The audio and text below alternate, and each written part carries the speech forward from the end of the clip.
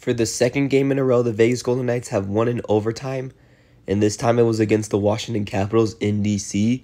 The final score was 3 2 Vegas in overtime, and the Golden Knights have picked up their fifth consecutive win. They're on a five game winning streak now. And yeah, let's start the recap. So, goaltenders for yesterday's game were Logan Thompson for the Vegas Golden Knight, Logan Thompson for the Vegas Golden Knights, and Charlie Lindgren for the Washington Capitals. Yeah, let's get to the goal scoring. So, first period, Marcus Johansson, 3 minutes and 39 seconds into the first period, gets his third goal of the season, and he gives the Capitals an early 1 0 lead. But then, with like a minute and five seconds left to go in the first period, Jack Eichel, with his fifth goal of the season, ties it up for the Vegas Golden Knights. And that's the way the first period ended in a 1 1 tie. So, first period ends in a 1 1 tie. Golden Knights with 11 shots on net in the first, and the Capitals with 6 shots on net in the first. Then the second period starts. Trevor Van Riemsdyk one minute and one second into the second period gets his first goal of the season to give the Capitals a 2 1 lead, and that was the only goal of the second period. So the second period ends with the Capitals up 2 to 1.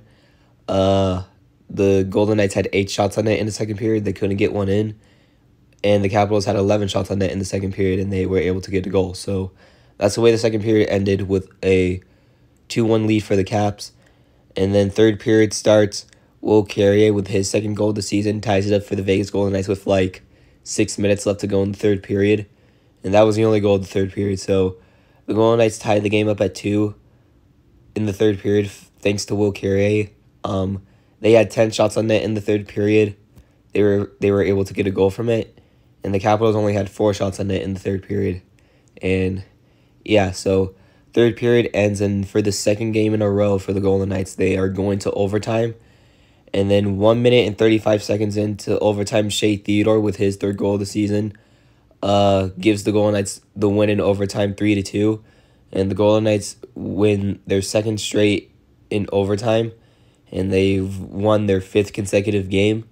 And that's the way they've pulled off the win here. So the Golden Knights had two shots on net in overtime. They were able to get one in. I mean, it was pretty early in overtime, too. Like, it only took one minute and 35 seconds. So that's pretty much why Vegas had two shots and the Capitals didn't have any in overtime. Uh, total amount of shots for this game were 31 for the Vegas Golden Knights and 21 for the Capitals. Uh, Logan Thompson able to stop 19 out of 21 for the Golden Knights win. And uh, yeah, so that's the way the Golden Knights won this game. They defeated the Caps 3 2 in overtime. The second straight overtime win for the Golden Knights and their fifth win in a row. And yeah, nice way to pull off the win here. The Golden Knights win 3 2 in overtime over the Capitals. And yeah, I'll see you guys on the next video. Peace. Go Knights, go. Fifth win in a row.